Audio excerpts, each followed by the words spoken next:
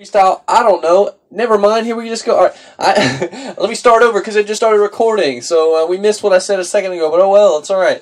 Um, I just want to thank y'all for um, tuning in and watching this. You know, God is so good, and He just wants me to bring something to the table. The Holy Spirit has been grabbing a hold of me today. Today, I went out and I prayed for people. I went, I walked through Walmart and I just prayed for people, and, and they were looking up at me like, "Oh my gosh, thank you so much." You know, I, I gave them my card. I didn't get a, an exact confirmation that they got healed, but you know what? The lady looked at me like I he like like Jesus healed her. Jesus, and uh, you know, it wasn't the time to start recording. So you know, I'm, I told y'all I'd record and bring something to the table, but I'm gonna keep bringing it. You know, the Lord is good. Okay, and and the Lord is coming back. That's what that's what y'all need to understand. The Lord is coming back. He's coming back. We're gonna pray real quick and let the Holy Spirit. I don't have nothing planned. We're gonna let the Holy Spirit lead this message. Father God. Take over this message with your Holy Spirit, Lord Jesus. Rain it down on me, Father God. Anoint this, anoint this message, Father God, so that way somebody can receive what they need to receive in Jesus' name. Show them the power that you have, Father God. The glorious power of Jesus Christ, Father God. I pray for this in the Holy Spirit to lead me in this. In Jesus' name I pray, amen. All right, let's see. I don't know what we, we're just gonna we're gonna turn to the Bible and we're gonna read something. We're gonna let the we're gonna let the Lord flow today. We're just gonna let the Lord flow with it real quick. Okay, let's just let's read something real quick.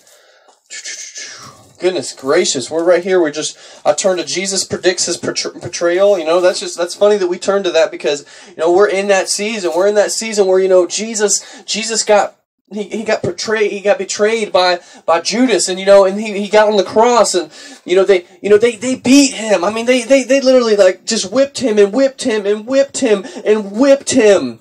They whipped him and they whipped him. It was horrible what they did it was horrible what they did. With whips, with chains, all kinds of things they did this, okay? Then they took him and made him carry the cross. They put him up on the cross, and he was probably the only person on this earth ever to never deserve anything like that. And he accepted that so we could be redeemed, so the, the chains could be broken from us, so we could walk freely with him, so we could walk freely with the Lord Jesus. I just want to thank you, Jesus, for everything that you've done for me.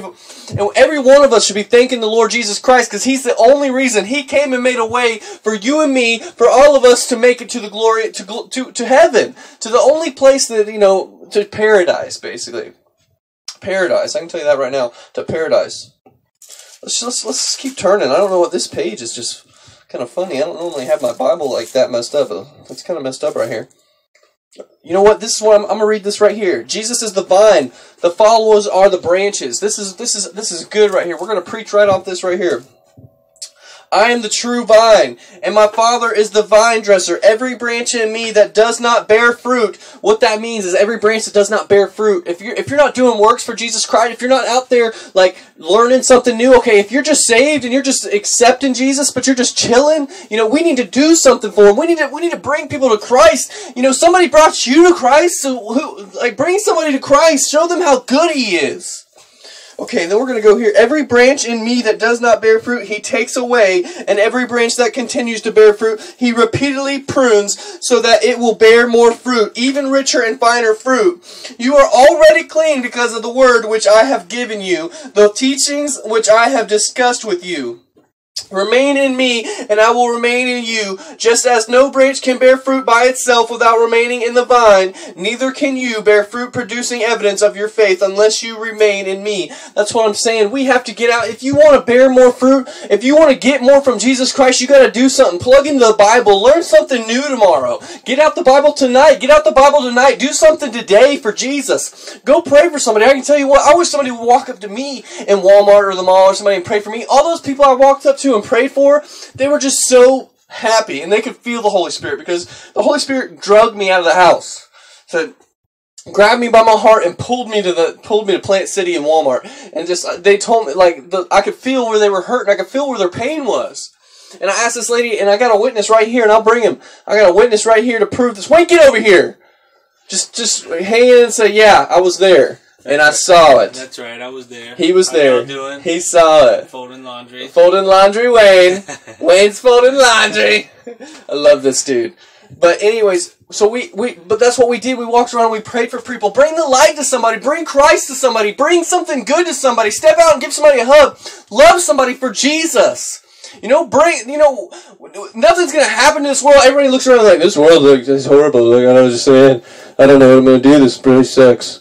You know, but it, it's not cool. You know why it's not cool? Because we're not spreading the love for Jesus. We need to spread the love for Jesus Christ you're going to look out and be like, oh man, that's not good. That person, uh, they shouldn't do that. You know, these people are doing this. You know, these kids are doing this. Well, step up and do something. Do something for Jesus Christ. Don't just stand there and say, you know, that, oh, oh, this stuff's going on. You know, this isn't good. We need to do something. You need to do it. You need to do it. Everybody needs to do it. They all need to step up. They all need to step up. We all need to step up.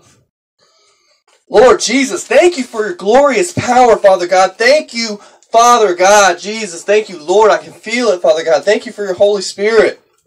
Right here, it says, The Holy Spirit promised, but now I am going to him who sent me, and none of you ask me, Where are you going? But because I have said these things to you, sorrow has filled your hearts and taken complete possession oh, of them. But I tell you the truth, it is to your advantage that I go away. For if I do not go away, the Helper, Comforter, Advocate, Intercessor, Counselor, Strengthener, stand by, will not come to you. But if I go, I will send him. The Holy Spirit is what he's talking about here. The Holy Spirit to you to be in close fellowship with you if we receive the, the Holy Spirit, just right, everyone say right now, help me, Holy Spirit. The Holy Spirit is there to help you. The Lord will send the Holy Spirit. I pray that all the time, and you know what? I'm sitting over here on my on my at my table, and I'm doing I'm doing like a message, just preparing, just working, reading the Bible a little bit, and the Holy Spirit grabs a hold of me and is like trying to pull me out the door.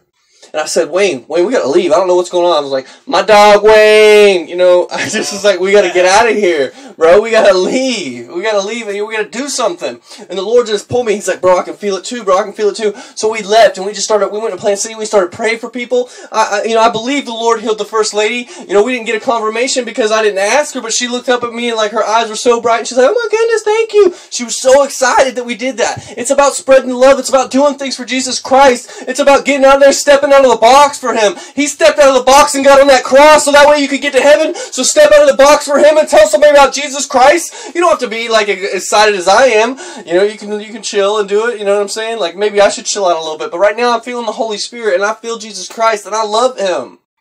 I love him. But you know what? Step out of the box. Step out of the box. Go tell somebody, hey, you know, I love you, you know, and Jesus loves you. You know, it's not right. You know that that thing that's in your ear telling, no, don't do that. Don't pray for that person. That's an evil thing. That's that's something we need to get past. You know, we can talk about what's going on in this world, but we're really we need to step out of the box and do something for it. We need to do something for Jesus. You know, what are you? What what can we do? You know, uh, goodness gracious. I really want to preach right now, but I'm not gonna. I'm gonna let's let's let's turn one more page and let's see where the Lord takes us today. Let's just let's just find, let's just where does the Lord want us to go? You know, let's see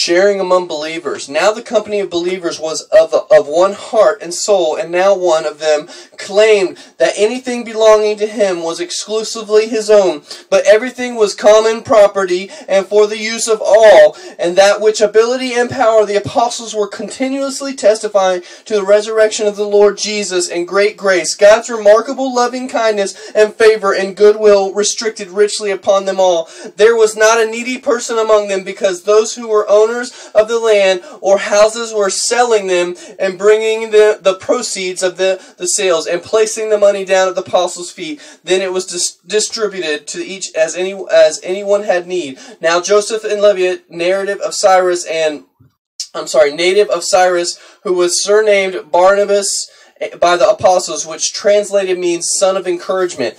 You know, if that's all we're doing, if that's all we're doing is just encouraging another Christian, if we can just inspire another Christian to bring somebody to Jesus or just tell somebody about Jesus, you know, don't just sit there and talk, you know, hey, we, we, we don't need to do this. You know, we don't need to do this. You know, don't listen to those lies in your head. You're fighting your flesh and you're fighting the lies that the evil ones are sending to you. Don't do that. Let Jesus lead you. If your heart tells you to pray for that person, pray for that person. If that your heart tells you to do something, do it. It's Jesus probably telling you to do it. Get up, stand up for him. Let's do this. Father God, I just want to thank you for bringing this short little message from me, Father God. I just want to get these people turned up every single day. I can turn them up for Jesus and bring and bring the word of the gospel to them, Father God. I just want to pray that you touch these people. I want to pray, Father God, for my grandma, Father God. She's got a surgery. If y'all could keep my grandma in her prayers, she's got a surgery on Tuesday. Keep her in her prayers, Father God. I just want to pray for this, Father God, that the people they they, they receive what they need to receive out of this, Jesus. I want to thank you in Jesus' name. Amen. Thank y'all.